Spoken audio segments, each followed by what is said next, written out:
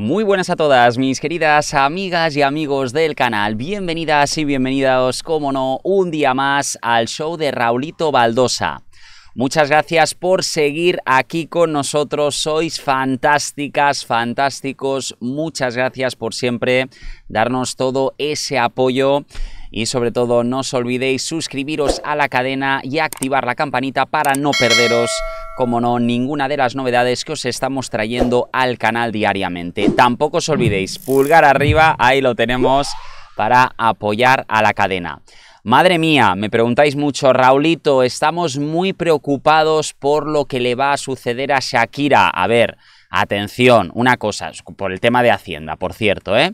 Pero os tengo que comunicar una cosa, no os tenéis que preocupar porque sí que es verdad que hay poca información, cuándo va a ser el juicio, qué es lo que va a tener que hacer Shakira y qué es lo que está haciendo sobre todo en estos momentos. A ver, Shakira ahora mismo ya sabemos que está envuelta en una situación muy controvertida, sabemos que el hecho de que Hacienda le esté pidiendo falsamente, por cierto, alguno, bueno, algún dinero que dice que no pagó, pero a, a, ver, Shakira ha pagado más de 100 millones de dólares en impuestos en España, parece que quieren más. Oye, yo digo, no se podrían conformar con 100 millones que ahora quieren más dinero.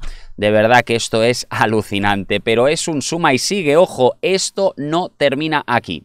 Además, eh, sabiendo lo que va a estar sucediendo en este juicio, que, también nos comunican que va a ser mediático, yo no entiendo de verdad cómo eh, tienen eh, tan poca vergüenza ¿no? de hacer todo esto así, pero bueno, es lo que van a hacer, la prensa es así y bueno, al final eh, les va a salir, como se suele decir, el tiro por la culata, les va a salir mal porque Shakira tiene todas las de ganar, pero absolutamente.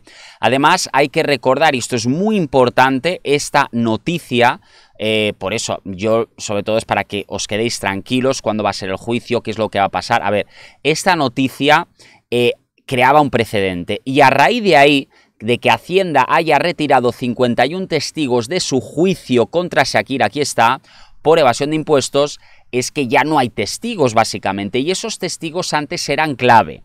Ahora, ¿qué es lo que está sucediendo? Pues bien, eh, eh, con Shakira hay una persecución mediática. Ojo, se ha comentado el hecho de que en España están pagando a la prensa y eso es lo que yo también creo que está pasando. Les están pagando una buena cantidad de dinero eh, presuntamente los padres de Gerard Piqué para que hablen mal de Shakira o para intentar sacar el foco de Gerard Piqué, porque hay eh, muchas cosas extrañas en esos pagos de Arabia Saudita. Pero a partir de ahí hemos encontrado que Shakira, ahí lo teníamos, eh, pues claro, está preocupada de lo que podría venir, pero nada más lejos de la realidad, ella está preocupada también un poco por lo que opinarán sus seguidores. Y te tenemos que decir, Shakira, nosotros confiamos en ti plenamente y 100%. Es que aunque salieses condenada, que no va a pasar, tú para nosotros serías inocente. Evidentemente eso no va a suceder porque eres inocente, pero si pasase es porque ha habido algo y yo lo he visto muchas veces, ya sabéis que en el periodismo hemos, visto de todo, jueces comprados también, o sea, yo he visto de todo. Así que como digo, para mí Shakira es inocente, pase lo que pase, efectivamente, pero igualmente eso eh, quedará en nada. O sea, hemos visto como Leo Messi, también que tiene el mismo abogado, eh, al final eh, analizaron la situación y dijeron, mira, esto me parece una ridiculez, esto apaga y vámonos. Y es lo que están diciendo los abogados de Shakira en Washington, por cierto. Y a raíz de ahí, como se han dado cuenta que esos testigos no van a declarar, pues ahora otro juez, y digo, eh, cada uno que piense lo que quiera, oye, si alguien quiere pensar que es un juez eh, corrupto, presuntamente, eso cada uno que piense lo que quiera, yo ya sabéis que en estas cosas me abstengo, puedo pensar lo que quiera pensar, pero evidentemente mm, cada uno tiene libremente su opinión, ¿no? Y decía, otro juez, otro juez, que no tiene nada que ver con el otro, abre una segunda causa con Shakira por fraude fiscal en el IRPF. Decía, ahí está. O sea, otro juez. Es decir, aquí vemos que no solamente se está llevando un camino, sino varios, pero es que deben haber muchos jueces o muchos fiscales que le están intentando investigar a Shakira. Y yo me pregunto, ¿por qué? ¿Por qué? ¿No será que hay una mano negra? A ver, yo he, decidido, yo he decidido libremente pensar que seguro que sí, seguro que hay una mano negra. Ahora bien, ¿quién será?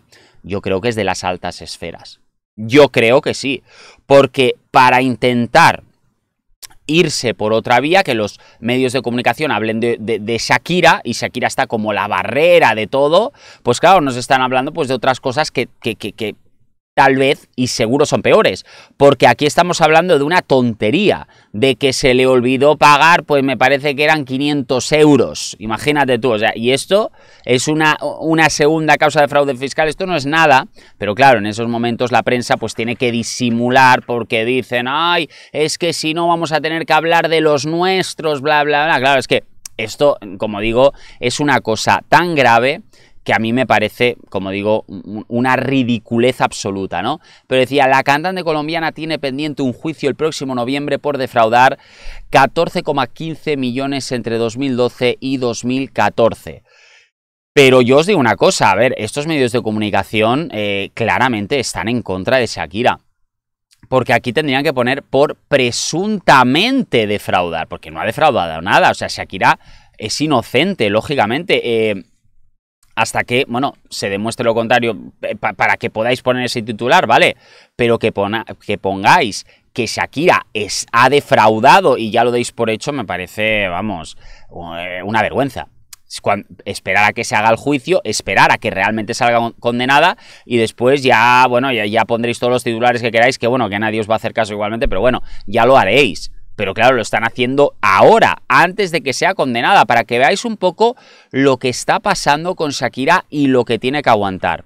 Ahora ha salido nueva información sobre este juicio y se ve que eh, hay más testigos que quieren apoyar a la causa, que son vecinos de Shakira, que eh, ellos mismos van a ir eh, por, bueno, eh, por mutuo acuerdo, no, sino por ellos mismos que quieren acceder a, al juicio.